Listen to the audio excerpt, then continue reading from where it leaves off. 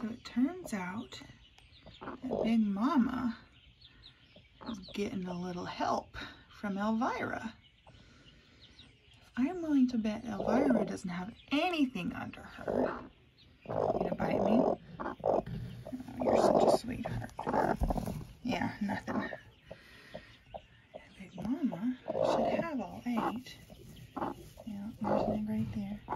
Big Mamma's got the eggs. So what's happening is every time Big Mamma gets up to take a break, Elvira sits on the eggs. And then whenever Elvira gets, and then Big Mamma sits on nothing.